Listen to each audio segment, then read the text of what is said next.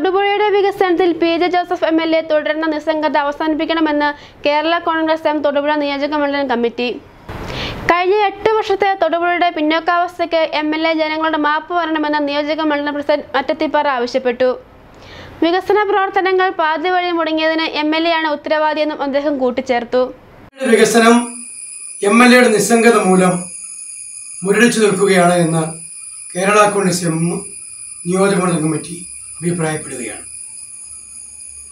കേരളത്തിലെ ബാക്കി നിയോജകമണ്ഡലങ്ങളിലെല്ലാം കാലാകാലങ്ങളിൽ ശക്തമായ വികസന പ്രവർത്തനം നടക്കുമ്പോൾ തുറവിട കഴിഞ്ഞ പത്ത് വർഷമായി യാതൊരു വികസന പ്രവർത്തനവും ഇല്ലാതെ മരവിച്ച് നിൽക്കുകയാണ്.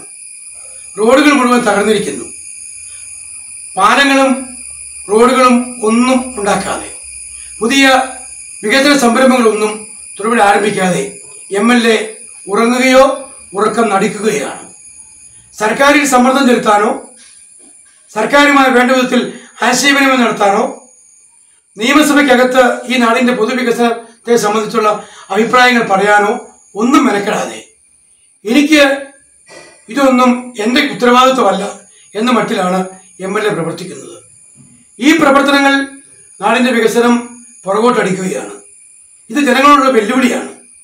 ജനങ്ങളുമായി യാതൊരു വിധത്തിലുമുള്ള ഇടപെടലുകൾ എം എൽ എ നടത്തുന്നില്ല. ഇത് തൊടുപുഴയുടെ വികസന പിന്നോക്കാവസ്ഥയുടെ അടിസ്ഥാന കാരണമായി കേരള കോൺഗ്രസ് എം ചൂണ്ടിക്കാട്ടുകയാണ്. അതുകൊണ്ട് ഈ തൊടുപുഴയിൽ മുടങ്ങിക്കിടക്കുന്ന വികസന പ്രവർത്തനങ്ങൾ കാഞ്ഞിരമറ്റം ബൈപ്പാസ് ആവട്ടെ കാഞ്ഞിരമറ്റം പാലമാവട്ടെ അതുപോലെ സിവിൽ സ്റ്റേറ്റ് അനക്സ് ആവട്ടെ മോൾ ജംഗ്ഷനിലെ നമ്മുടെ ഫ്ലൈ ഓവർ ആവട്ടെ എന്ന് വേണ്ട എന്താണോ തൊഴിലേക്ക് ആവശ്യമുള്ളത് അതെല്ലാം മുടങ്ങിക്കിടക്കുന്നു. അത് നടപ്പിലാക്കണം എന്ന് ആവശ്യപ്പെട്ടുകൊണ്ട്. ശക്തമായ ബഹുജന പ്രക്ഷോഭത്തിന് നേതൃത്വം കൊടുക്കാൻ കേരള കോൺഗ്രസ് എം നിയോജക മണ്ഡല കമ്മിറ്റി തീരുമാനിച്ചിരിക്കുകയാണ്.